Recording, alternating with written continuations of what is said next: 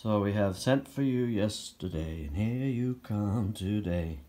Count Basie uh, tune. It's basically really a 12 bar blues. And it has this repetitive um, phrase that I think the bass could do. In Basie's band, the saxophones do it, but it, so it acts really as an intro and it fills in between lines. So it goes like this. Boo da da do da da do da da dee ba da dee da da rest boo ba ba do dee ba do ba ba dee ba da ba dee ba da ba da one two. Then it keeps doing that.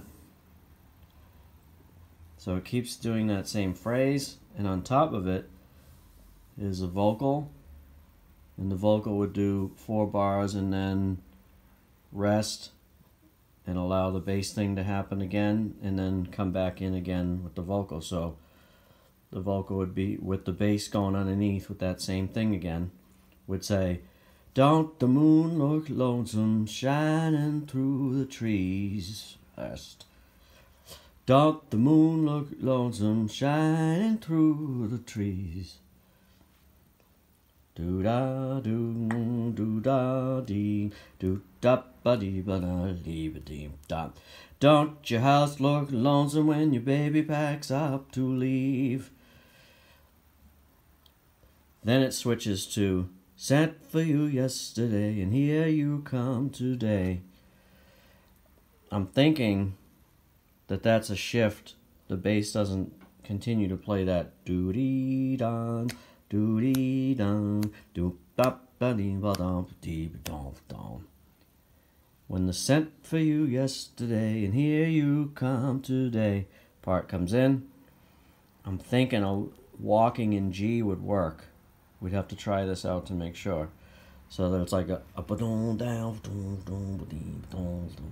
Sent for you yesterday and here you come today. Sent for you yesterday, and here you come today.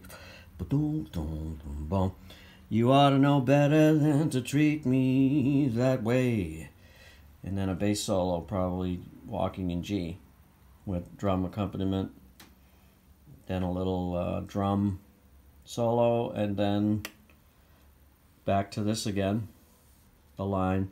Booty bang, booty bang, boop bop ba dum ba dee zom dee bom.